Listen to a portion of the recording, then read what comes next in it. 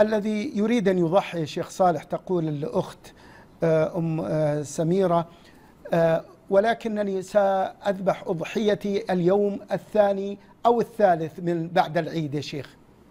لا بس ذبح الأضحية يوم العيد وثلاثة أيام بعده. نعم.